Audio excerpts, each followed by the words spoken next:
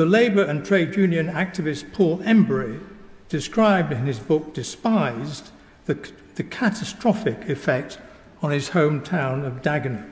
There have been severe environmental consequences, environmental consequences.